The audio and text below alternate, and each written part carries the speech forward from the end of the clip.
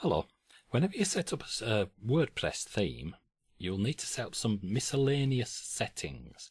Now, the settings we're going to go through in this video are fairly um, common to StudioPress themes. Most of these settings you'll use on all WordPress themes. So, I'll show you what I'm talking about. If we go to our dashboard, we're going to go to Appearance, Customize.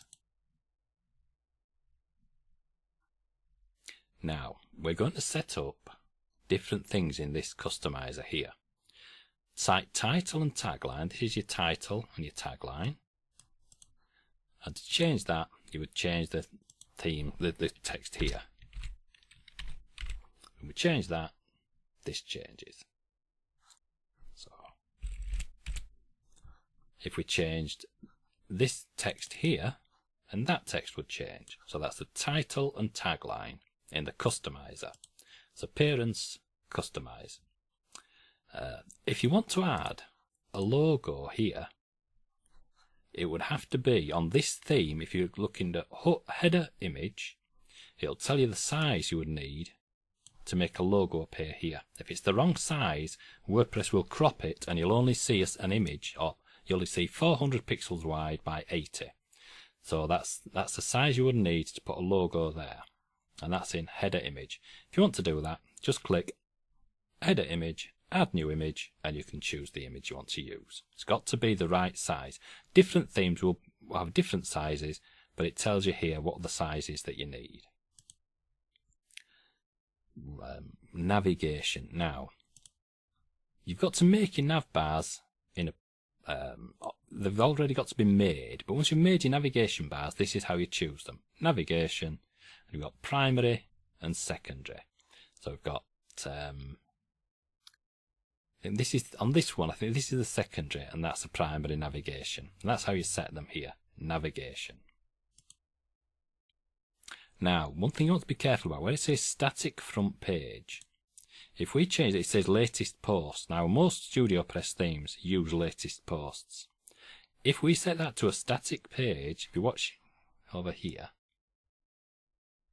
this will change. If we change that to static page, it's changed. So make sure that you've got your latest posts chosen there. And for most Studio StudioPress themes, that's the one it needs. It needs your latest post to be chosen on the, the static front page section. Breadcrumbs, if you know what breadcrumbs are, they appear to tell you which, where you are in the site. So if we click the breadcrumbs, they'll appear over here. See, it says uh, you are here. We're on the home page. If we're on a post, we're on a single post page, or if we're at a post, I'll click Save and Publish so we can actually see it. We'll go to that one.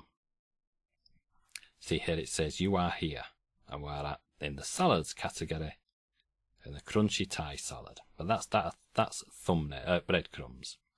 Turn them back off again. You can turn them on or off, it's entirely up to you. Go back to our front page. Now, comments.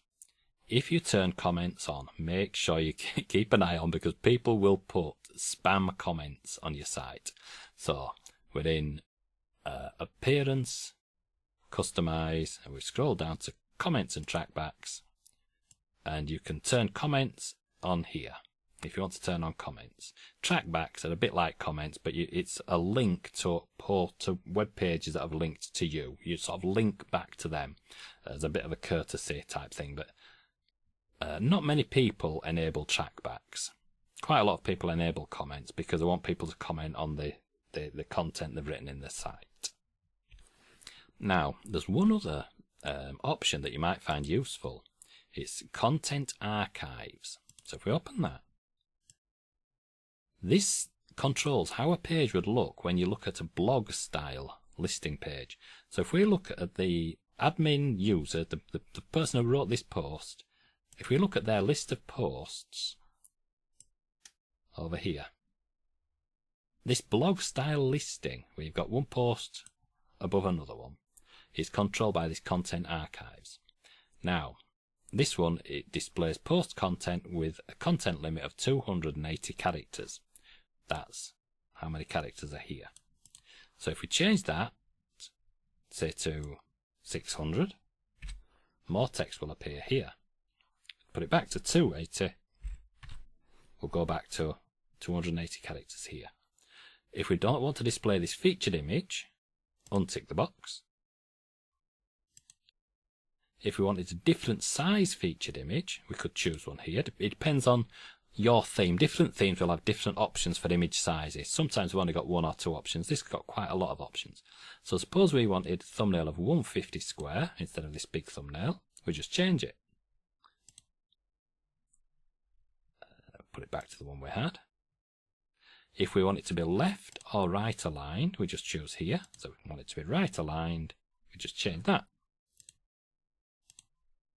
And when you scroll to the bottom of the page, if more posts are available, you get these next buttons here. And that's post navigation type. Now, if you change it to previous, and this is in a StudioPress theme. Not not all themes have these this this content archive section.